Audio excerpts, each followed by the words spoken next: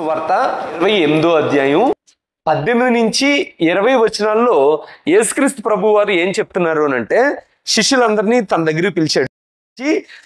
మీరు వెళ్ళి సమస్త జనులను శిష్యులుగా చేయడి. తండ్రి యొక్కయు కుమారుని యొక్కయు పరిశుద్ధాత్మ పరిశుద్ధాత్మ యొక్కయు నామములోనికి వారికి బాప్తిస్మిచ్చు నేను మీకు ఏ సంగతులను ఆజ్ఞాపించుతునో వాటన్నిటినీ గైకొన వలన వారికి బోధించడి. మార్కు రాసిన సువార్త పదహారో అధ్యాయం పదిహేను వచనం పదహారో వచనం ఒకసారి చూద్దాం. మరియు సర్వలోకమునకు వెళ్ళి సర్వ సృష్టికి సువార్తను ప్రకటించుడి. యేసుక్రీస్తు వారు తెలియజేస్తున్న మాట ఏమిటనంటే మార్కు రాసిన సువార్త పదహారో అధ్యాయం పదిహేను పదహారు సర్వలోకమునకు వెళ్ళి సర్వలోకానికి వెళ్ళి సర్వ సృష్టికి సువార్తను ప్రకటించాలి. తమ్ముడు సర్వ సృష్టికి అంటే? చూడాలి ఎవరో ఒక అభగ్యుడు యూరోప్ కంట్రీలో ఏం చేశాడు అని అంటే సర్వ సృష్టిగా అన్నాడు కాబట్టి జంతువులు కూడా ఆ సృష్టిలో ఒక భాగం అని చెప్పి జూలో ఒక సింహాల బోన్లోకి వెళ్ళి వాళ్ళకి వాటికి సువార్త ప్రకటించడానికి చేసినప్పుడు అవి ఉమ్, అవి క్రూరమైన జంతువులు కాబట్టి ఏం చేశాయనంటే తనేదో వాటికి ఇబ్బంది కలుగు చేస్తున్నాడు అనుకుని చంపేశారు. సర్వ సృష్టికి సువార్తను ప్రకటించడం అని అంటే దాని అర్థం సృష్టి సృష్టి అని మాట్లాడుతున్నప్పుడు ఈ ఈ సందర్భంలో సృష్టి అని మాట్లాడుతున్నప్పుడు ఆ, లోకం దేశం అంటే మట్టి కాదో మనుషులో అన్న చందాన ఇక్కడ కూడా ఏంటంటే సర్వ సృష్టి అని అంటే ప్రతి ఒక్క మనుషునికి అయితే ప్రతి సర్వ సృష్టికి అనే మాట ఎందుకు వాడబడింది అంటే ఈ ఈ తరగతికి చెందిన వారికి సువార్త ప్రకటించాలి. ఇగో ఈ కులానికి చెందిన వారికి సువార్త ప్రకటించకూడదు. ఈ రంగులో ఉన్న వాళ్ళకి సువార్త ప్రకటించాలి. ఈ రంగు వాళ్ళకి ప్రకటించకూడదు అనే తారతమ్యం ఏది ఉండకూడదు. ఆఖరికి స్త్రీ పురుషుడు అనే భేదం కూడా ఉండకూడదు. దాసుడు యజమాని అనే భేదం కూడా ఉండకూడదు.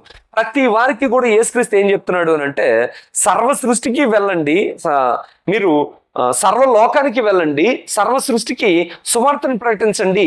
నేను మీకు ఏ సంగతులను ఆజ్ఞాపించుతునో వాటన్నిటినీ గైకొని వలన మీరు వారికి బోధించండి అని చెప్పాడు. అప్పుడు ఈ బోధించండి అని చెప్తున్నప్పుడు ఏసుక్రీస్తు వారు ఏం చెప్తున్నారు? ఆజ్ఞనిస్తున్నాడా? మీ మీ ఇష్టం మీరు ఒకవేళ చేస్తే చేయండి లేకపోతే లేదు అని చెప్తున్నాడా? కాబట్టి సర్వ సృష్టి అంటే సర్వ సృష్టికి వెళ్ళి సువార్తను ప్రకటించండి అనేది ఏంటనంటే యేసుక్రీస్తును యేసుక్రీస్తు నుండి మనం పొందిన ఆజ్ఞ. సరే అయితే ఆ ఆ సువార్తను గురించి యేసుక్రీస్తు వారు పన్నెండు మంది శిష్యుల్ని ఏర్పాటు చేసుకున్నాడు. ఒకసారి మనం చూద్దాం. యోహన్ రాసిన సువార్త పదిహేడు అధ్యాయం ఆరు నుంచి తమ్ముడు. లోకము నుండి ఆ, వారు వారిని వాక్యం నీవు నాకు అనుగ్రహించిన మాటలు నేను వారికి ఇచ్చి ఉన్నాను వారు ఆ మాటలు అంగీకరించి నేను నీ వద్దకు బయలుదేరి వచ్చిన ఎందుకంటే నీవు నన్ను పంపించడం చెప్పిన కనుక నీవు నాకు అనుగ్రహించిన అనుగ్రహించిన మరియు నీ వల్లనే కలిగిన వారికి ఎన్ని ఉన్నారు? నేను వారితో ప్రార్థన చేస్తున్నాను. లోకం కొరకు ప్రార్థన చేయండి నీవు నాకు అనుగ్రహించిన ఉన్నవారు నీ వారైనందున వారి కొరకు ప్రార్థన చేయించు ఎంతమంది అంటే ఇక్కడ ఉన్న వాక్య భాగాన్ని ఎంతమంది చదివారో నాకు తెలీదు. యేసుక్రీస్తు వారు చేసిన ప్రార్థన అది. ఆ ప్రార్థనలో ఆయన ఏమి ప్రార్థన చేస్తున్నాడనంటే నాయన నువ్వు లోకం నుండి నాకు ఎంతమంది మనుషులను అప్పగించావు అంటే పన్నెండు మంది మనుషులను అప్పగించాడు అంటాడు ఎవరికి? యేసుక్రీస్తు వారికి దేవుడు అప్పగించాడు.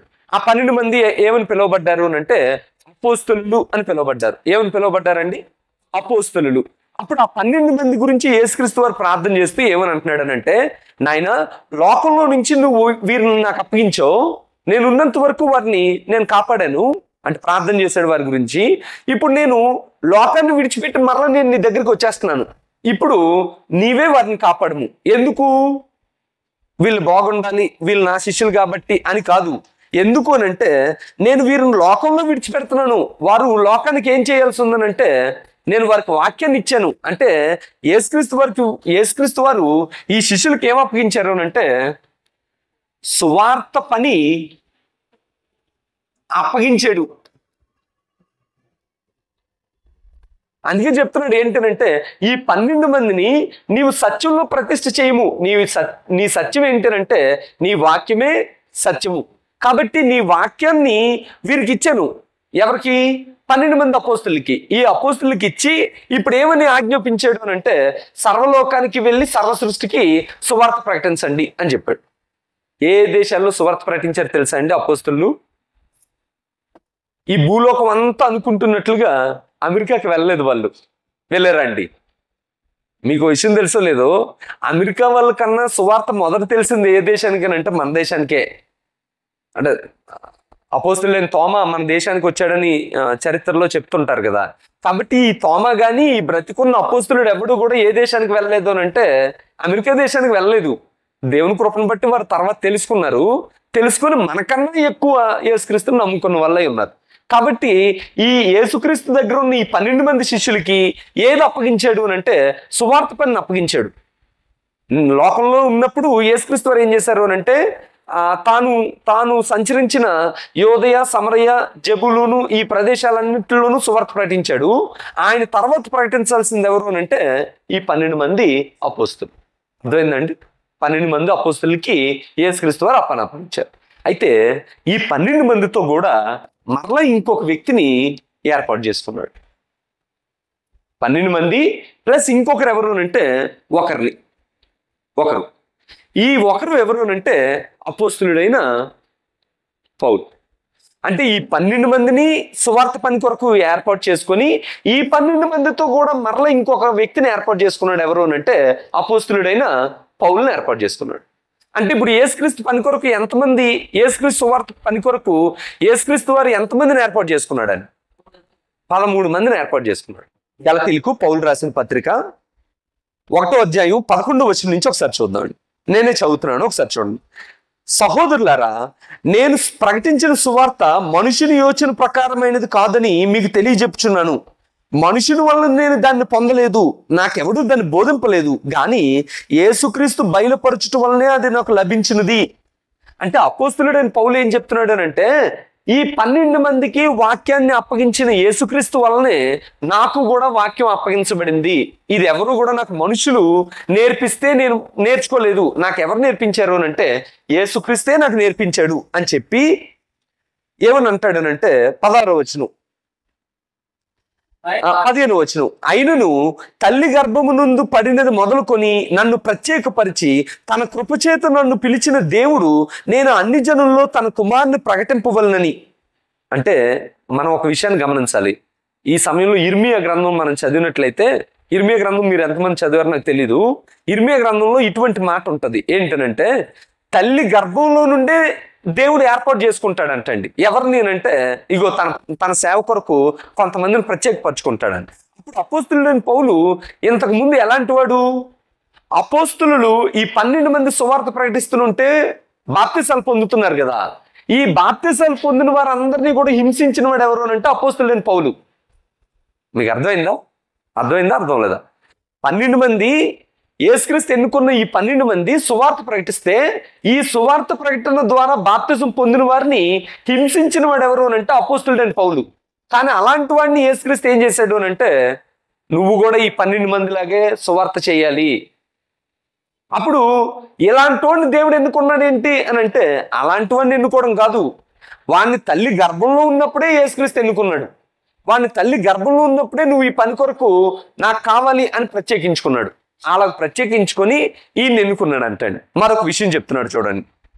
రెండో అధ్యాయం ఏడో ఏ ఏడు నుంచి తొమ్మిది వచనంలో ఒకసారి మనం చూస్తే అయితే సున్నత పొందిన వారికి బోధించుటకై సువార్త పేతురికి ఎలాగ అప్పగింపబడినో అలాగే సున్నతి పొందని వారికి బోధించుటకై నాకు అప్పగింపబడెను. చాలండి. అంటే యేసుక్రీస్తు ఇద్దరిని ఎన్నుకున్నాడు. ఒక ఒక ఒక ఒక జట్టులో ఎంతమంది ఉన్నారు? పన్నెండు మంది ఉన్నారు. ఇంకో జట్టులో ఎంతమంది ఉన్నారు? ఒకడే ఉన్నాడు. ఓకేనా? ఒక జట్టులో ఎంతమంది ఉన్నారు అని అంటే పన్నెండు మంది ఉన్నారు. ఇంకో జట్టులో ఎంతమంది ఉన్నారు అంటే ఒకడే. అయితే ఈ పన్నెండు మందిని దేవుడు యేసుక్రీస్తు ఎందుకు ఎందుకున్నాడు అని అంటే ఇస్రాయేలీలు. సున్నతి పొందిన వారు అని అంటే ఇస్రాయేలీలు.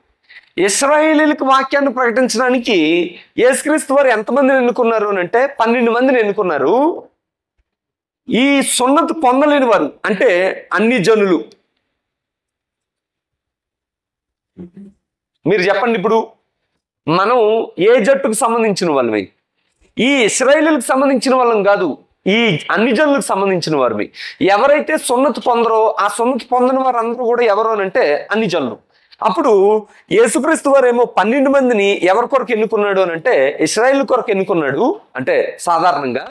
తర్వాత అన్ని జనుల కోసం ప్రత్యేకంగా ఎన్నుకున్నది ఎంతమందిని అంటే ఒక వ్యక్తిని ఎన్నుకున్నాడు. ఆ అన్ని జనులకి సువార్త ప్రకటించినట్లుగా ఈ సువార్త పనిని అప్పగించాడంట. ఆయన ఏం చెప్తున్నాడు అని అంటే సున్నత పొందిన వారికి అపోస్తులుడు అవుటకు పేతురుకు సామర్థ్యము కలుగు చేసిన వాడే. అన్ని జనులకు అపోస్తులుడుగా ఉండుటకు నాకును సామర్థ్యము కలుగు చేసెను అంటే ఈ పన్నెండు మందిని ఎన్నుకున్న యేసుక్రీస్తు వారే ఈ అపోస్తులుడుగా ఉండడానికి అన్ని జనులకు అపోస్తులుడు ఉండడానికి నన్ను కూడా ఎన్నుకున్నాడు. నాకు కూడా సువార్త పని అప్పగించాడు అని చెప్తున్నాడు. సరే. యేసుక్రీస్తు వారు ఎంతమందికి పని అప్పగించారండి ఇప్పుడు? పదమూడు మందికి లేకపోతే రెండు జట్లకి. ఒక జట్లో ఎంతమంది ఉన్నారు అని అంటే పన్నెండు మంది ఉన్నారు. ఇంకో జట్లో ఎంతమంది ఉన్నారు అని అంటే ఒక వ్యక్తి ఉన్నాడు. వీళ్ళ వీళ్ళందరికీ ఏసుక్రీస్తు వారు అప్పగించిన పని ఏంటండి? సర్వలోకానికి సర్వలోకములకు వెళ్ళాలి సర్వ సృష్టికి సువార్తను ప్రకటించాలి. అయితే సర్వలోకానికి వెళ్ళి సర్వ సృష్టికి సువార్తను ప్రకటించే పనిలో వారు ఎలాగున్నారో ఒకసారి మనం చూద్దామండి వారు ఎలాగున్నారో ఒకసారి మనం చూద్దాం. అపోస్తుల కార్యాలు నాలుగో అధ్యాయం.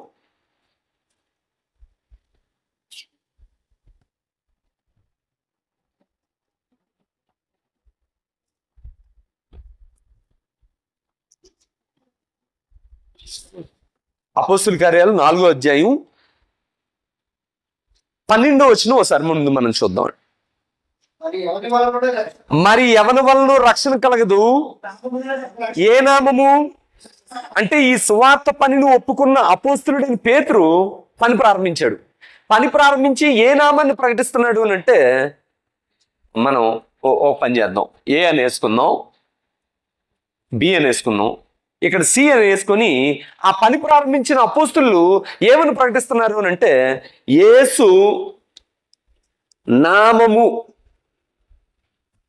ఏసు నామాన్ని ప్రకటిస్తున్నారంట అంటే ఏసు నామాన్ని ప్రకటిస్తున్నారనంటే అంటే ఇంత పెద్ద లెటర్లు రాసి ఈ నామం అని చూపించట్లా. దాని అర్థం ఏంటనంటే నామము అని వాడబడిన విషయం ఏంటనంటే అధికారము అని చెప్తున్నాడు.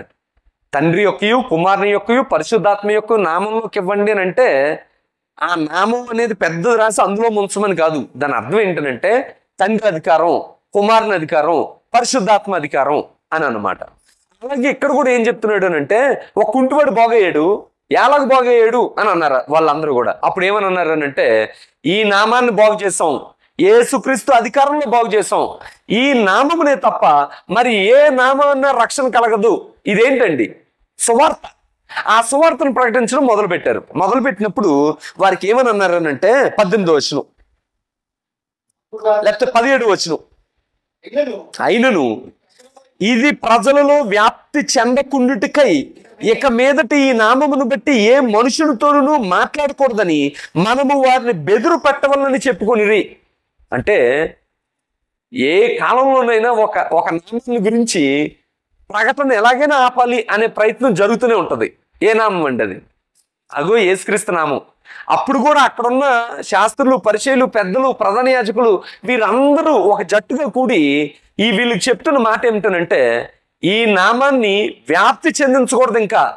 కాబట్టి ఎవరు ఈ నామాన్ని ప్రకటించకూడదు అని చెప్పారంట. అప్పుడు చెప్పినప్పుడు వారు ఏమన్నారనంటే అప్పుడు వారిని పిలిపించి మీరు ఏసు నామంను బట్టి ఎంత మాత్రం మాట్లాడకూడదు బోధింపకూడదు అని వారికి ఆజ్ఞాపించరు. ఏసు నామాన్ని బట్టి మీరు మాట్లాడకూడదు బోధించకూడదు. ఇలాంటి సువార్త ప్రకటన చేయకూడదు అని చెప్పారంట. అప్పుడు వారు ఏమని అన్నారనంటే అపోస్తులు పేతురు మాట్లాడుతున్నాడని. ఏమని మాట్లాడుతున్నాడనంటే ఇక్కడ చూడండి ఏసునామమును ప్రకటించకూడదు. అపోస్తులు పేతురు మాట్లాడుతున్న మాట దేవుని మాట వినుట కంటే మీ మాట వినుట దేవుని దృష్టికి న్యాయమా? మీరే చెప్పుడి మేము కన్న వాటిని విన్న వాటిని చెప్పక ఉండలేము అని వారికి ఉత్తరం ఇచ్చిరి. అంటే ఒక మాటలో రాసుకోవాలి అని అంటే ఏసు నామమును ప్రకటించకుండా ఉండలేము. చాలా స్పష్టంగా చెప్తున్నారు. ఏమని చెప్తున్నారు అని అంటే ఏసు నామాన్ని బట్టి మీరు మాట్లాడకూడదు బోధింపకూడదు అని వారు ఖండితంగా ఆజ్ఞాపించినప్పుడు వాళ్ళు ఏమన్నారు అంటే దేవుని మాట వినడం ముఖ్యమా? మీ మాట వినడం ముఖ్యమా?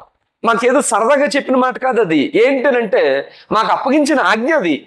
కాబట్టి మేము దేవుని మాట వింటాం. మేము కన్న వాటిని విన్న వాటిని ప్రకటించకుండా ఉండలేము. ఏసు నామంను ప్రకటించకుండా మేము ఉండలేము అని చెప్పేశారు. అర్థమైందండి? తర్వాత మరి రెండో జట్టు కొద్దాం రెండో జట్టులో ఎవరున్నారు? అపోస్తులు లేని పౌలు. ఈ పౌలకు కూడా వారు అనేకమైన సందర్భాల్లో భయంకరంగా అతన్ని ఏసు నామాన్ని గురించి ప్రకటించకూడదు అని బెదురు పెట్టారు జైల్లో పెట్టారు హింసించారు. ఒకసారి అయితే రాళ్ళతో కొట్టేసి అతను చివరి వరకు ఈడ్చేశారు ఇలాంటి ఇబ్బందులు కలుగు చేశారు అయినప్పటికీ కూడా అపోస్తులు లేని పౌలు ఏమని అంటున్నాడు అంటే రోమిలికి రాయబడిన పత్రిక ఒకటో అధ్యాయం పద్నాలుగు నుంచి పదహారు వచనంలో ఒకసారి చూద్దాం. గ్రీస్ దేశస్తులకును గ్రీస్ దేశస్తులు కాని వారికి జ్ఞానులకును మూడులకును నేను రుణిస్తును కాగా నా వలనైనంత మట్టుకు రోమాలోని మీకును సువార్త ప్రకటించుటకు సిద్ధంగా ఉన్నాను. సువార్తను గురించి నేను సిగ్గుపడువాడిని కాను. ఈయనేమంటున్నాడనంటే సువార్తను ప్రకటించడానికి సిద్ధంగా ఉన్నాను. ఎవరెవరికి అంటండి గ్రీస్ దేశస్తులకి గ్రీస్ దేశస్తులు కాని వారికి జ్ఞానులకి ప్రకటిస్తాను మూడులకి ప్రకటిస్తాను. అంటే చదువు ఉన్నోళ్ళకి ప్రకటిస్తాను చదువు లేని వాళ్ళకి ప్రకటిస్తాను మర్యాదగా మాట్లాడే వాళ్ళకి ప్రకటిస్తాను మూర్ఖంగా మాట్లాడే వాళ్ళకి ప్రకటిస్తాను. ఈ ప్రకటించడానికి నేను ఎలాగున్నాను అని అంటే సువార్తను ప్రకటించడానికి సిద్ధంగా ఉన్నాను అని చెప్పి ఇంకేమంటాడనంటే సువార్తను గూర్చి సిగ్గుపడను. ఎవరండి వీళ్ళు? సువార్త పనిని అప్పగింపబడిన వారు సువార్త పనిని యేసుక్రీస్తు నుండి ఆజ్ఞగా పొందుకున్న వీళ్ళు ఏమని చెప్తున్నారు అని అంటే యేసు నామాన్ని బట్టి ప్రకటించకుండా మేము ఉండలేము. రెండు ఆయన ఏం చెప్తున్నాడు అని అంటే సువార్తను గురించి సువార్తను ప్రకటించడానికి నేను సిద్ధంగా ఉన్నాను. సువార్తను గురించి నేను సిగ్గుపడువాడిని కాను. అని చెప్తున్నాడు. చెప్పి వాళ్ళు అంటే ఈ సువార్త పనిని అప్పగింప అంటే అప్పగించారు కదా. యేసుక్రీస్తు వీళ్ళకి అప్పగించాడు. ఈ అప్పగించిన వీళ్ళు ఎలాంటి వైఖరి కలిగి ఉన్నారు అని అంటే వారు ఎలాంటి మనస్తత్వాన్ని కలిగి ఉన్నారు అని అంటే ఈ సువార్తను గురించి ఒకసారి చూద్దాం. మత్తయి సువార్త పంతొమ్మిదో అధ్యాయం ఇరవై ఏడో వచ్చిన ఒకసారి మనం చూద్దాం. పేతురు ఇదిగో మేము సమస్తమును విడిచిపెట్టి నిన్ను వెంబడించితిమి. చాలండి చాలండి. ఏసుక్రీస్తు వారు ఆజ్ఞలను పాటించడానికి ఏసుక్రీస్తు వారు మార్గంలో నడవడానికి ఏసుక్రీస్తు యొక్క నామాన్ని సర్వ సృష్టికి ప్రకటించడానికి అపోస్తులుడైన పేతురు ఏమని అంటున్నాడు అంటే మేము సమస్తమును విడిచిపెట్టి నిన్ను వెంబడించాము. ఎన్ని విడిచిపెట్టారండి? త- తల్లిదండ్రులు విడిచిపెట్టారండి. అంటే విడిచిపెట్టారు అని అంటే గాలి కొదిలేయడం అని కాదు. అంటే ఇంతకుముందు తల్లిదండ్రుల దగ్గర ఉండేవాడు ఇప్పుడు వారిని వారి బాధ్యతను ఎవరికైనా అప్పగించి అప్పుడు ఈయన ఏం చేశాడు అని అంటే యేసుక్రీస్తుతో కూడా నడిచాడు. ఆ, ఇంకేం విడిచిపెట్టారండి? ఆ, అక్క చెల్లెల్ని విడిచిపెట్టారు అన్నదమ్ముల్ని విడిచిపెట్టారు జాబ్స్ని అంటే వ్యాపారాలను విడిచిపెట్టారు పనులను విడిచిపెట్టారు ఈ అన్నిటిని విడిచిపెట్టి ఎవరిని వెంబడించారు అని అంటే యేసుక్రీస్తుని వెంబడించారండి. అలా అలాగ చేశారండి వాళ్ళు.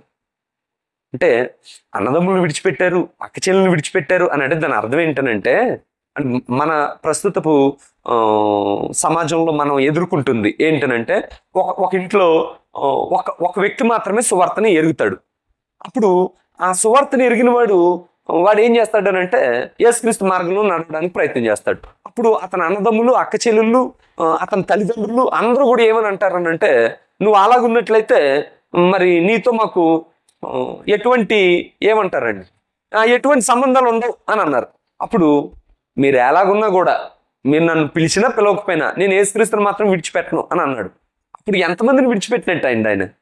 ఇంటి వారందరిని విడిచిపెట్టి ఎవరిని వెంబడించాడు అని అంటే ఏసుక్రీస్తు వారిని వెంబడించినట్టు. అంటే వాళ్ళు గాలి కుదిరేలేదు. ఇప్పుడు అలాగ అన్న అన్నదమ్ముడే యాక్సిడెంట్ అయింది. ఎవరు పరిగెట్టరు? మొట్టమొదటి ఎవరు పరిగెడతారు?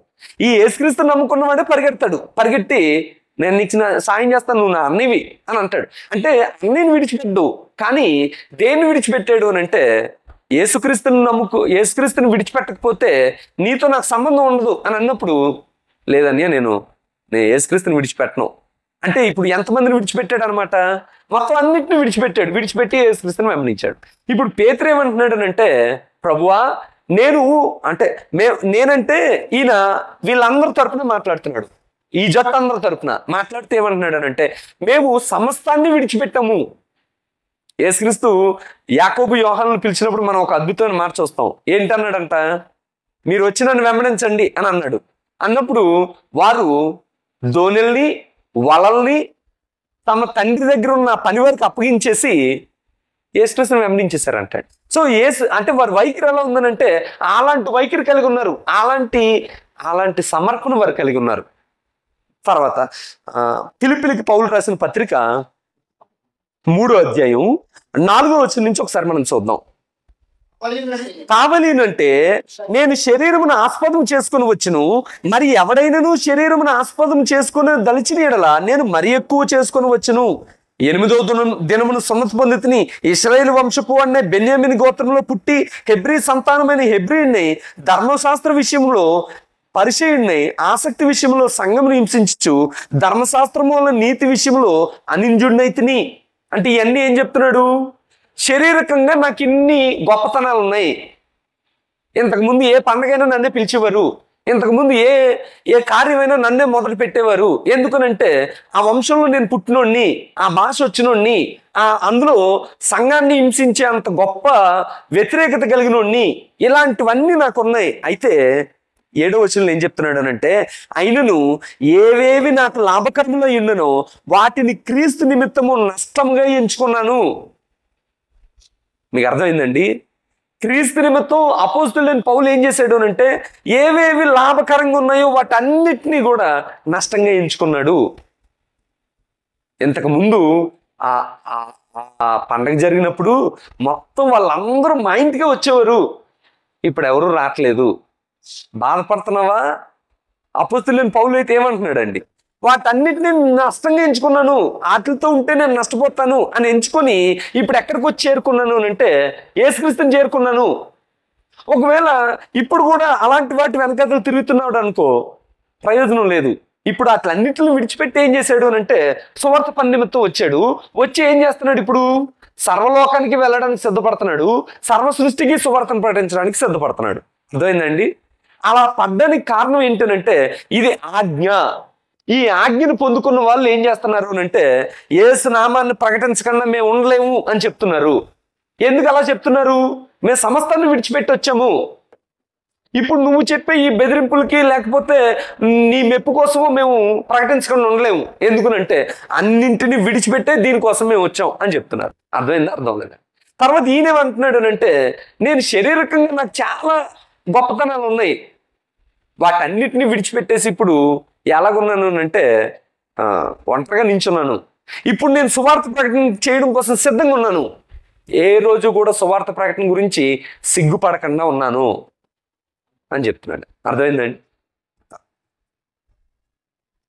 తర్వాత అపోస్తులు నేను పౌలు మరొక అద్భుతమైన మాటను తెలియజేశాడు. కొరింతీలకు పౌలు రాసిన పత్రిక తొమ్మిదో అధ్యాయం పదహారు వచ్చిన ఒకసారి చూద్దాం. నేను సువార్తను ప్రకటించున్నాను. నాకు లేదు అచ్చే కారణం లేదు. సువార్తను ప్రకటింపవలసిన భారము నా మీద మోపబడి ఉన్నది. అయ్యో నేను సువార్త ప్రకటన చేయకపోయిన ఎడల నాకు శ్రమ. వాక్యం ప్రారంభంలోనే నేను మీకు చెప్పాను ఏంటనంటే ఇది మనకేదో తీరిగ్గా ఉండి చేసే పను లేకపోతే ఇగో ఎవరు చేయట్లేదు నేను ఒక్కడిని చేస్తాను పను. అందరి తరపున ఒకళ్ళతో తీసుకొని నీ ఇష్టపూర్వకంగా చేసే పని కాదు. అది ఎలాంటి పని అంటే సువార్త ప్రకటన అనేది భారం మోపబడి ఉందంటండి అంటే నువ్వు ఖచ్చితంగా చేయాల్సిందే. అప్పుడు ఆయన ఏమంటున్నాడు అంటే సువార్త ప్రకటింపవలసిన భారం మోపబడి ఉన్నది. సువార్త ప్రకటన చేయకపోతే అయ్యో అని అంటున్నాడు ఆయన అయ్యో అనే మాట ఏంటనంటే చాలా ప్రమాదం అని. అయ్యో సువార్త ప్రకటన చేయకపోతే నాకు శ్రమ. నిన్న అప్పారావు గారి ఇంటి దగ్గర ప్రార్థన పెట్టినప్పుడు మొట్టమొదటి వాక్యం ప్రారంభిస్తున్నప్పుడే ఒక మాట చెప్పాను ఏంటనంటే ఏలాగూ ఎవరైతే ప్రార్థన కూడికి పెట్టుకొని సువార్త ప్రకటన జరగడానికి వారు వారి ఇంటి దగ్గర ప్రార్థన పెట్టుకుంటారో వారి ఇంటి దగ్గరికి సంఘాన్ని ఆహ్వానిస్తారో వారి కుటుంబం దీవించబడుతుంది అని చెప్పాను. చెప్పానండి లేదా? సో దీవించబడుతుంది. ఇప్పుడు ఒకవైపు మనం చూచాం రెండు వైపు పౌలు చెప్తున్నాడు. రెండోది ఏంటండి? సువార్త ప్రకటన అనే ఆజ్ఞని యేసుక్రీస్తు నుండి పొందుకొని ఆ పొందుకున్న ఆజ్ఞని నువ్వు సువార్త ప్రకటన చేయకుండా సిగ్గుపడి లేకపోతే దాన్ని మరుగు చేసేస్తే నీకేమంటున్నాడనంటే ప్రకటింపకపోతే నాకు శ్రమ. ఎందుకనంటే నా మీద ఏముందనంటే భారం మోపబడి ఉంది అర్థమైందండి లేదు? ఇలాగ మనం చదివితే మనకి కొంతవరకు అర్థం అవుద్ది సువార్త ప్రకటింపవలసిన భారం మోపబడి ఉంది అని అంటే అర్థం ఏంటనంటే మ్, బిందు వాళ్ళ పేరెంట్స్ ఏసుక్రీస్తుని తెలుసుకున్నవారు కాదు. ఇప్పుడు ఆ భారం నా మీద మోపబడి ఉంది అనేది దాని అర్థం. తమ్ముడు మీ నాన్నగారు భారం ఎవరి మీద ఉంది? మామూలుగా నీ భారం నేను మోస్తున్నాను అన్నాను అనుకో ఏమంటాడు ఆయన? నేను నిన్ను మోస్తున్నాను కానీ నువ్వు నన్ను మోయింటాను అంటారు అలాగే అర్థం అవుద్ది. కానీ నీకు అర్థం అవలసింది ఏంటంటే మా నాన్న రక్షణ మా అన్నయ్య రక్షణ మా వదిన రక్షణ నా మీద మోపబడి ఉంది మీకు అర్థమైందండి లేదా? మన మన ఇంట్లో రక్షణ పొందుకోకుండా ఉన్నారు చాలా మంది ఆ రక్షణ పొందుకోకుండా ఉన్న వాళ్ళందరూ కూడా ఒకనొక రోజున యేసుక్రీస్తు దగ్గర నిలబడి ఉంటే వారి భారాన్ని గుర్చిన బాధ్యత లేకపోతే వారి భారాన్ని గురించి ఎవరిని అడుగుతారు అని అంటే అమ్మ ఏంటి మీ మీ ఊళ్ళ పరిస్థితి? నువ్వేం భారం మోయలేవా మోయలేదా అని అడిగితే ఏం చెప్తారండి? ఇప్పుడు మీరు ఒకరు మీరు ఏం చేస్తారనంటే అసలు మీ మీద ఎవరి భారం మోపబడి ఉంది ఒకసారి ఆలోచించండి. ఎవరి భారం మోపబడి ఉందిరా జోసెఫ్? నేనేమంటానంటే అమ్మ మీ మీ మీ అమ్మ ఇంకా బాప్తిజం పొందలేదురా. మరి చూసుకో చూడాలి నువ్వు అని అంటే నువ్వేమంటావునంటే మరి చూడండి మీరు అని అంటాం. అంటే దాని అర్థం ఏంటంటే నేను మోస్తున్నాను అనుకుంటున్నావు నువ్వు. ఆహా నేను మోయి నువ్వు. ఆ భారం ఎవరిదనంటే నీది. అంటే అపోస్తులుడైన పౌలు చెప్తున్న మాటను ఒకవేళ మనకు అప్లై చేసుకుంటే అపోస్తులుడైన పౌలు చెప్తున్న మాటలు మనం ఒకవేళ మనకు అన్వయించుకుంటే మనకు అర్థమయ్యే విషయం ఏంటనంటే ఈ దేవరాపిల్లో ఎవరైతే రక్షణ పొందలేదో ఎవరైతే మనం చూడండి పండగ అవుతున్నప్పుడు లేకపోతే ఈ విగ్రహారాధన జరుగుతున్నప్పుడు డ్యాన్స్ వేసుకుంటూ వెళ్తుంటారు కదా. వాళ్ళని చూసి అసహ్యపడకండి. వాళ్ళని చూసినప్పుడు మీకు ఏం కలగాలని అంటే అయ్యో వీళ్ళందరినీ రక్షించాల్సిన బాధ్యత నాది కదా. కాకపోతే నేనేం చేయలేకపోతున్నాను. అయితే నువ్వు ప్రకటించావు. ప్రకటించిన తర్వాత వారు రక్షణ పొందుకోలేదు. వారు ఒకసారి ఈ మాట చదువుకున్నావు అపోస్తుల కార్యాలు. కింద వారం కూడా చదువుకున్నట్టున్నావు నాకు గుర్తులేదు. ఇరవై అధ్యాయం. అపోస్తుల కార్యాలు ఇరవై అధ్యాయం ఇరవై ఏడో వచ్చిన ఒకసారి మనం చూద్దాం. ఇరవై ఆరో వచ్చిన క్షమించండి. కాబట్టి ఎవరి నాశనం విషయమైన ఎవరి నేను దోషి నేను దోషిని కానని సాక్ష్యం చెప్తున్నాను. అంటే మీలో ఎవ్వరి ఎవ్వరి నాశనం విషయంలోనూ దేవుడు నన్ను ప్రశ్న అడిగితే నాకు సంబంధం లేదు. నా నేను దోషిని కాను. ఎందుకంట? ఇరవై ఏడో వచనంలో చెప్తున్నాడు దేవుని సంకల్పం దేవుని సంకల్పం అంతయు మీకు తెలుపకుండా నేనేమీ దాచుకోలేదు. అంటే ఏసుక్రీస్తు వారు నాకు అప్పగించిన సువార్తని ప్రకటించడానికి నేను ప్రకటించకుండా ఉండలేదు. నేను సువార్తను గురించి సిగ్గుపడలేదు. నేను నిర్మోమాటంగా సువార్తను ప్రకటించాను. అయితే మీరు రక్షణ పొందుకోలేదు. మీరు ఆ మాట వినలేదు. వారి వారి నాశనం విషయంలో నాకే సంబంధం లేదు అని చెప్పేశాడు అర్థమైందా? అర్థం అయితే ఇప్పుడు సువార్త యొక్క ఉద్దేశాన్ని చూద్దాం. సువార్త ఉద్దేశం మనకు తెలియకపోతే ఈ ఈ కార్యక్రమం ఎలా ఉంటుందనంటే మనం ఈ క్రైస్తవ సంతతిని పెంచుకునేటట్లుగా ఉంటుంది. ఎక్కడో ఒక మాట విన్నాను. ఏంటనంటే ఒక ఒక రిలీజన్ లేకపోతే ఒక మతానికి సంబంధించిన వాళ్ళు కొంచెం తక్కువ సంఖ్యలో ఉన్నారంట అండి. అప్పుడు ఆ మత పెద్ద వాళ్ళందరికీ ఏం చెప్తున్నాడు అంటే మనం ఒక్కొక్కరిమి ఐదుగురు ఆరుగురు పిల్లల్ని కనాలి. అప్పుడు ఏమవుద్దంట ఆ ఆ ఆ సంతానం పెరుగుతుంది ఆ మతం వృద్ధి చెందుతుంది అని. ఇప్పుడు ఒకవేళ నీ ఉద్దేశం కూడా అలాంటిదేనా? అంటే సువార్త ప్రకటన చేసి ఇప్పుడు ముప్పై ఆరు మంది ఉన్నాం ఈ ముప్పై ఆరుని వంద మంది చేయాలి వంద మందిని రెండు వందల మంది చేయాలి. ఈ ఉద్దేశం అనేది ఈ ఉద్దేశం అయితే తప్పుడు ఉద్దేశం. సువార్త యొక్క ఉద్దేశం ఏంటో ముందు నీకు తెలియాలి. అది తెలియలేనప్పుడు నీకు ఎలాగుంటుందని అంటే జాన్ చెట్టు వేసి వెంటనే ఫలాలు కోసేయాలని ఉంటుంది. మామిడి చెట్టు వేసి వెంటనే పళ్ళు కోసేయాలని ఉంటుంది. లేకపోతే పక్క వాళ్ళ తోటలో తెచ్చిన పళ్ళుని మన పళ్ళులో కల్పించుకోవాలని ఉంటుంది. అసలు నీకు ఏం తెలియలేదు ముందు? ఉద్దేశం తెలియలేదు. అసలు సువార్త ప్రకటించమని ఆజ్ఞనిచ్చిన యేసుక్రీస్తు వారి యొక్క సువార్త ఉద్దేశం మనకు తెలియాలి. కొరింథీయులకు పౌలు రాసిన రెండో పత్రిక ఐదో అధ్యాయం పద్దెనిమిదో వచ్చిన ఒకసారి చూద్దాం.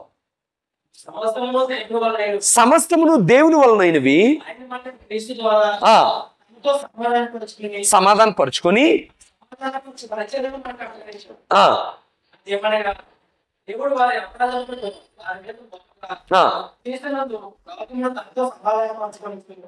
సమాధాన వాక్యమును మాకు అప్పగించను. అంటే సువార్తకి ఇంకో పేరు పెట్టాడండి. ఏం పేరు అది సమాధానపరుచు పరిచర్య. ఇంకో మాట ఏమన్నాడు అంటే సమాధాన వాక్యము అన్నాడు. ఇప్పుడు ఏసుక్రీస్తు ప్రకటించమని ఏం చెప్పాడు అంటే సువార్త ప్రకటించమన్నాడు కదా. ఈ సువార్త యొక్క ఉద్దేశాన్ని మనం చూస్తున్నాం. ఉద్దేశం ఏంటనంటే ఆయన ఆ వచనంలో రెండు మాటలు ఉన్నాయి. మూ- మూడు మాటలు ఉన్నాయి. ఒకటి లోకము అనే మాట ఉంది. లోకం అనే మాట ఉంది కదా. అందులో వచనంలో కింద నుంచి రెండో లైన్లో ఉంది. ఏంటనంటే లోకమును తనతో సమాధాన పరుచుకొనుచు అనే మాట ఉంది. అంటే లోకము అనే మాట ఉంది. లోకము అని అంటే ఏ దేవుడు ఇక్కడ లోకము అని పిలిచింది ఏంటనంటే ఏదేం తోటలో ఆదాం పాపం చేశాడు కదా. ఇప్పుడు ఏదైనా తోటలో నుంచి ఆదాంని ఎక్కడ పంపించేశాడు? లోకంలోకి పంపించిన పంపించినట్టు. అంటే ఇప్పుడు ఏదైనా తోట అనేది ఒక ప్రత్యేకమైన ప్రదేశం. పాపం చేసిన వాడు ఎక్కడికి పంపించబడతాడు? ఎక్కడ ఉంటాడు అని అంటే లోకంలో ఉంటాడు. ఇప్పుడు రోమిలికి రాసిన పత్రిక ఐదో అధ్యాయం పన్నెండు వచ్చిన మనందరికి తెలిసిందే. ఏంటి? ఇట్లుండగా ఒక మనుషుని ద్వారా పాపమును పాపము ద్వారా మరణమును లోకములో ఎలాగూ ప్రవేశించను అలాగే పాపము చేసిన వారందరూ కూడా అంటే అందరూ అంటే లోకమంతా కూడా మరణాన్ని సంపాదించుకుంది. అంటే లోకము అని అంటే అర్థం ఏంటనంటే ఎవరైతే పాపం చేశారో ఎవరైతే మరణాన్ని తెచ్చుకున్నారో వీళ్ళు ఏమని పిలువబడతారు అని అంటే లోకం అని పిలువబడతారు. సింపుల్ ప్రశ్న అడుగుతాను. మీరేంటండి?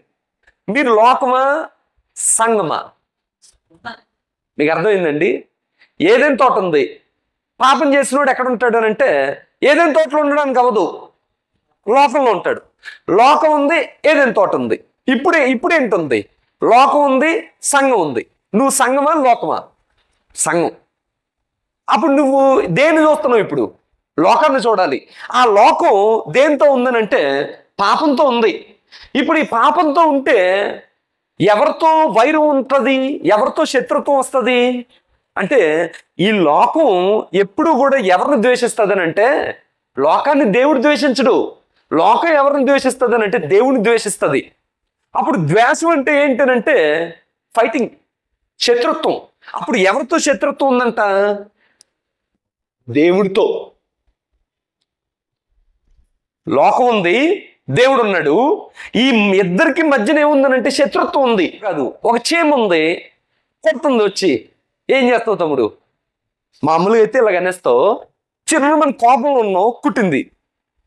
అంటే శత్రుత్వం నీతో యుద్ధం చేసింది. ఏం చేస్తావు? మీరు చూసారో లేదు దోమ కుట్టినప్పుడు ఒక్కోసారి ఏమో ఇలాగంటాం. ఒక్కోసారి చాలా ఇరిటేషన్గా ఉంటుంది మనకి. చాలా చికాకుగా ఉంటాం. ఏం చేస్తామండి? కొడితే మొత్తం మన చర్మానికి అది అంటికిపోయి ఇంకా దాని అవయవాలన్నీ ఇదైపోయేటట్టుగా కొడతాం. అంటే దాని అర్థం ఏంటనంటే నువ్వు నన్ను కుట్టావు నే నేను నా ప్రతాపం చూపిస్తే ఇలాగ ఉంటుంది అని చెప్తాం అనమాట దేవుడి ముందు మా ఈ లోకం పరిస్థితి ఏంటండి? ఆ ఆ చిన్నపిల్లడి కంటే ఆ చేమ కంటే ఆ మిన్నెళ్ళ కంటే పనికిరాని స్థితి. ఆ- ఆయన సర్వశక్తి ఎలాంటిదనంటే అది మామూలు కాదు. అంత అద్భుతమైంది. అమ్మ సూర్యుడు ఎంత గొప్పడు? అంటే ఎంత గొప్ప గ్రహం అది? దాని దాని ఇంచ్ అంటే దాని కొ- కొంత కల కదలిక కూడా అంటే కొంత ప్రత్యక్షమైన కిరణాలను కూడా మనం తట్టుకోలేం. అంత భయంకరమైన గ్రహం. ఈ రోజుకి దాని కక్ష మేరకుండా ఉండేటట్లుగా దాన్ని ఏర్పాటు చేసింది ఎవరు? దేవుడు. అలాంటివి ఈ విశ్వంలో ఎన్ని ఉన్నాయంటండి. కొన్ని వేల గ్రహాలు ఉన్నాయంటండి అలాంటివి. అలాంటి వాటన్నిటిని తన మాటతో నియంత్రిస్తూ వస్తున్నది ఎవరు అంటే ఈ దేవుడు. ఈ దేవుడితో ఎవరు వైరం పెట్టుకున్నారు అంటే ఈ దేవుడితో శత్రుత్వం ఎవరు పెట్టుకున్నారు అంటే లోకం. మీకు అర్థమైందా? అర్థం కదా. ఇప్పుడు ఇలాంటి శత్రుత్వం ఉంది కదా. ఈ శత్రుత్వం ఉన్న ఈ రెండు ఈ ఇద్దరి మధ్యన సంధి చేయడానికి లేకపోతే వీరిద్దరికి సమాధానం పరచడానికి ఎవరు వచ్చారు అని అంటే క్రీస్తు ప్రభు. మీకు అర్థమైందా? ఈయనున్నాడు ఈయనున్నాడు వీళ్ళిద్దరికి మధ్యన ఏముందనంటే శత్రుత్వం ఉంది. ఈ రెన్ ఈ ఇద్దరి మధ్యన శత్రుత్వాన్ని తీసేసి వీరిద్దరిని సమాధానపరిచేటట్లుగా చేతులు కలుపుకోండి లేకపోతే ఆయన వెళ్ళి నువ్వు హత్తుకో అని అనిపించే ఒక పరిస్థితిని ఏర్పాటు చేయడానికి ఎవరు వచ్చారు అని అంటే యేసుక్రీస్తు వారు వచ్చారు. ఈ యేసుక్రీస్తు వచ్చి తన రక్తాన్ని కార్చి ఏం చేశాడు అని అంటే ఆ సమాధాన పరిచే ఒక పరిచర్యను ఏర్పాటు చేశాడు. ఆ ఏర్పాటు చేసి ఇప్పుడు అది ఎవరికి అప్పగించాడు అని అంటే అపోస్తులకు అప్పగించాడు. ఎన్ని జట్లకు అప్పగించాడు? రెండు జట్లకు అప్పగించాడు. ఇదిగో మీ పని ఏంటనంటే సువార్త ప్రకటించండి. సువార్త ప్రకటించండి అంటే ఈ రోజున్న అనేక మంది ఛాందస్వాదులకి లేకపోతే వ్యతిరేకులకి ఏమర్థమవుతుందనంటే క్రైస్తవులు కలిపేయమంటున్నారు వీళ్ళు అని అనుకుంటున్నారు. కాదు. మరి ఏంటి సువార్త ప్రకటన అంటే సమాధానపరచడం. దేవుడితో సమాధానం పొందు లేకపోతే చచ్చిపోయిన తర్వాత లేకపోతే యేసుక్రీస్తు రెండో రాకల్లో ఇబ్బందికరమైన పరిస్థితి ఉంటుంది. నువ్వు దేవుడితో ఇప్పుడే సమాధాన పడు అని చెప్పడం. అప్పుడు ఈ పరిచర్యని యేసుక్రీస్తు ప్రారంభించి ఎవరికి అప్పగించాడు అని అంటే అపోస్తులకు అప్పగించారు. అపోస్తులు ఏం చేశారు అని అంటే సంఘానికి అప్పగించారు. ఈ రోజు ఆ సంఘంలో ఉన్న ప్రతి వాడు కూడా ఏం కలిగి ఉన్నాడు అని అంటే ఈ సువార్త భారాన్ని కలిగి ఉన్నాడు. ఈ సమాధాన పరచాలి అనే ఒక ఉద్యోగాన్ని కలిగి ఉన్నాడు. అప్పుడు తమ్ముడు సమాధాన పరచాలి ఏ ఎలాగ పరచాలి లేకపోతే సువార్త ప్రకటించాలి ఎలాగ ప్రకటించాలి. ఓ మాట చెప్పాడండి అక్కడ. ఏం ఏమనంటే ఐదో అధ్యాయంలోనే ఇరవై వచ్చిన చూడండి. కావున. దేవుడు మా ద్వారా వేడుకొనినట్టు మేము క్రీస్తుకు రాయబారులమై దేవునితో సమాధాన పడుడని క్రీస్తు పక్షముగా మిమ్మల్ని బతిమాలు కొనుచున్నాము. సువార్త ప్రకటిస్తున్నాం వినట్లేదు. సువార్త ప్రకటిస్తున్నాం వ్యతిరేకిస్తున్నారు. సువార్త ప్రకటిస్తున్నాం ఇబ్బంది పెడుతున్నారు. నువ్వేం చేయాల్సిన వాడిపై ఉన్నావు? బతిమలాడుకోవడమే. అంటే సువార్త ప్రకటన అంటే అర్థం ఏంటనంటే అయ్యా దేవుడితో మీరు సమాధాన పడండి. దేవునితో సమాధాన పడండి. ఇరవై సంవత్సరాల నుంచి ప్రకటిస్తున్నాం. ముప్పై సంవత్సరాల నుంచి ప్రకటిస్తున్నాం. మార్పు చంద్ర అని అన్నారు లేదు. బతిమలాడుకోవడమే. అంటే అంటే సువార్త అనేది కోపంతో చేసే పని లేదు. ప్రేమతో చేయాల్సిన పనే. బతిమలాడుకుంటూ చేసే పనే. ఒకవేళ ఎవరు రక్షణ పొందలేదు ఏం చేయాలి? అపోస్తులైన పౌరులాగా పాదాలు దులు దులిపేసి వచ్చేవచ్చు కానీ అది కూడా మనం చేయక్కర్లా. మనం ఏం చేయాలని అంటే మారు మనసు పొందుడని తండ్రి వెయిట్ చేస్తున్నట్లుగానే అందరూ అంతటా మారు మనసు పొందవాలని ఇంకా దీర్ఘశాంతం ఎలా అయితే కలిగి ఉన్నాడో అలాగూ మనం కూడా దీర్ఘశాంతంతో బ్రతిములాడుకుంటూనే సువార్త చేయాలంటే. ఇది దేవుడు మనకు అప్పగించిన పని. అది మనకు అప్పగించింది కాదు. అపోస్తులైన అపోస్తులైన ఆ రెండు జట్లకు అప్పగించిన పని. ఆ అప్పగించిన పని ఇప్పుడు ఎవరికి అప్పగించాడు అని అంటే అపోస్తులైన పౌలు తనతో పాటు సువార్త పనులు పాలు పంచుకుంటున్న తిమోతికి ఏం చెప్పాడు అని అంటే వాక్యం ప్రకటించుము సమయమందు అసమయమందు వాక్యం ప్రకటించు. నాలాగే నువ్వు కూడా సువార్త ప్రకటించు అని చెప్పాడు. అప్పుడు ఆ తిమోతి ఏం చేశాడు అని అంటే నమ్మకంగా పనిచేస్తున్న సంఘంలో కొంతమందికి ఆ పని అప్పగించాడు. వారు ఇంకొంతమందికి అప్పగించారు. వారు వారు వారు అలా దాటుకుంటూ దాటుకుంటూ ఇప్పుడు ఆ సువార్త ఎక్కడికి వచ్చిందనంటే మన చేతుల్లోకి వచ్చింది. మన మీద భారంగా ఉంది. ఇప్పుడు ఆ భారాన్ని మనం ఏం చేయాలని అంటే మనం మన మనకు సాధ్యమైనంత వరకు సువార్తను ప్రకటన చేయడానికి మనం సిద్ధపడాలి. ఎందుకునంటే మనకు అప్పగించిన ఆజ్ఞ ఏంటనంటే సర్వలోకానికి వెళ్ళి సర్వ సృష్టికి సువార్తను ప్రకటించు అని. మీకు ఇష్టమైతే చేయండి. లేకపోతే లేదు అనే కార్యక్రమం కాదు. యేసుక్రీస్తు ఆజ్ఞాపించాడు ప్రభురాత్రి భోజనం ఎలాగైతే చేస్తున్నావో అలాగే సువార్త ప్రకటన కూడా చేయాల్సిన బాధ్యత మన మీద నేను క్రిందటి ఆదివారం నేను క్రిందటి శనివారం ఒక గొప్ప విషయాన్ని చూశాను పెందుర్తి దగ్గర వస్తున్నప్పుడు కారులో ఒక ఒక అబ్బాయి ఒక పెద్ద ప్లకార్డు ఇలా రాసి పట్టుకున్నాడు. ఏ ఏసుక్రీస్తు అందరికీ ప్రభువు అని చెప్పి ఓ పెద్ద పెద్ద లెటర్లతో. ఎంతసేపు పట్టుకుంటాడు?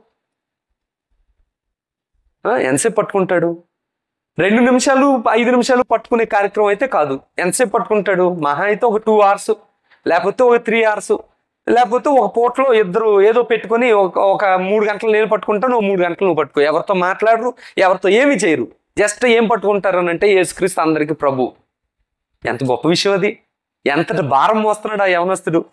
అసలు మనం ఒరే రండ్రా బాబు రండ్రా. సువార్త ప్రకటన కోసం అందరం వెళ్దాం. అందరం కూర్చుంటున్నాం కదా మనతో పాటు కలిసి కూర్చోండి. లేకని ఇప్పుడేంటి? అని అనరులేండి మన వాళ్ళు కానీ మెల్లగా మనకు ఒక పాటలో ఉంది కదా సన్నగా జారెడు వారనే అనేకులు. సన్నగా జారిపోయే వాళ్ళు చాలామంది ఉన్నారు. అలా జారిపోయే వాళ్ళుగా మనం ఉండొద్దు. చాలా సంవత్సరాలు మనం అలా జారే వాళ్ళుగానే ఉన్నాం. అయితే సువార్త ప్రకటన గురించి మనకు పూర్తిగా అర్థమైతే జారేటట్లుగా కాకుండా అది భారంగా లేకపోతే అది నాకు ప్రకటించకపోతే శ్రమ అనేటట్లుగా మనకి అర్థమైతే మనం ఆ ఆ పనిలో ముందుకు వెళ్తాం. అందరికి వందనాలు తెలియజేస్తూ ముగిస్తున్నాను.